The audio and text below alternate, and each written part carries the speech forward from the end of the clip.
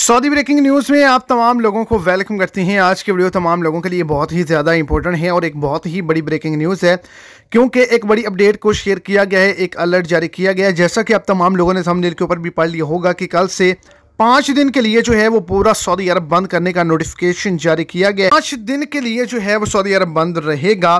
चौदह साल रिकॉर्ड जो है वो टूट चुका है। तो वीडियो की तफसीत को जानने के लिए वीडियो को एंड तक देखें ताकि आपको तमाम डिटेल्स की अच्छे से समझ आ सके। और अगर इस चैनल पर आप फ़र्स्ट टाइम लाजमी से चैनल को सब्सक्राइब कर दें और साथ में देखिए बेलकन को प्रेस करके ऑल पे सेलेक्ट कर लें ताकि सऊदी अरेबिया के रिलेटेड जो भी छोटी बड़ी अपडेट्स हों, वो आप तक बासानी और जल्द पहुँच सकें और सपोर्ट के तौर पर वीडियो को लाइक करके अपने दोस्तों तक भी इसको ज़्यादा से ज़्यादा शेयर कर दें। तो आपको बताता चलूँ कि पाँच दिन का अलर्ट जारी किया गया है। अभी अभी एक बड़ा नोटिफिकेशन जारी किया गया है।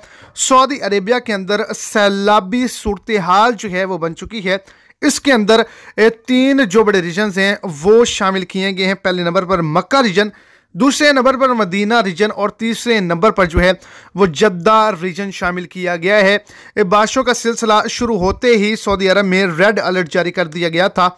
लेकिन अब जो सूरत हाल है, वो आउट ऑफ़ कंट्रोल हो चुकी है, जिसकी वजह से पाँच दिन के लिए कोई भी सफ़र नहीं कर सकता।